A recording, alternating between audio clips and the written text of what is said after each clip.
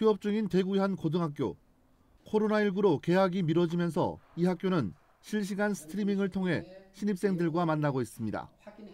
고등학교 생활에 대해 궁금한 점에서부터 학업과 자기 관리는 물론 건강 관리를 위해 필요한 것들을 알려줍니다. 학생의 진로와 흥미를 바탕으로 학교 간 공동으로 이루어지는 교육과정 온라인 형태 신청에 대한 선생님의 간략한 안내입니다. 담임 교사들은 매일 학생들과 전화를 통해 안부를 묻습니다. 학생의 생활을 관리하고 학부모 상담도 병행하고 있습니다. 학교에 대한 다양한 정보들이 이 어려운 시국에 불안감을 조금이나마 해소시킬 수 있는 방법이라고 생각을 했습니다. 그래서 학생들과 학부모님들에게 학교 소식을 온라인으로 전하게 되었습니다.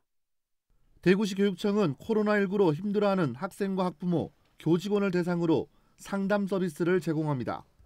1대1 전화 상담 방법으로 평일 오전 9시부터 오후 5시까지 운영되고 있습니다. 코로나19로 인한 불안감이 어느 때보다 커지고 있고 이로 인해 트라우마를 겪는 경우가 많습니다. 상담 서비스를 통해 여러 가지 어려움을 함께 극복하고 조기에 원상으로 돌아갈 수 있도록 적극적으로 지원하겠습니다.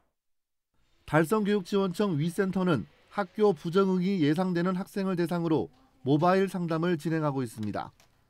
전문 상담 교사 6명과 임상 심리사 1명이 투입되는데 최근 2주 동안 98건의 실적을 거둘 정도로 이용률이 높은 편입니다. 이와 병행해 학급 관계 증진을 위한 집단 프로그램인 찾아가는 또박이를 통해 휴업으로 서먹할 수 있는 학급 구성원들 간의 긍정적인 관계 형성을 돕고 있습니다. 이번 코로나19 사태와 관련하여 학생들이 겪을 다양한 심리적 어려움에 대비하여 학급에서 원활한 적응을 도울 수 있도록 찾아가는 또박이 집단 프로그램을 활성화하여 진행할 수 있도록 코로나19로 학교 생활이 중단되자 학업 공백과 정서적 불안을 호소하는 학생들이 많습니다.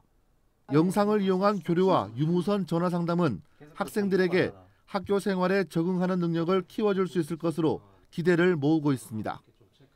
티브로드 뉴스 천혜렬입니다.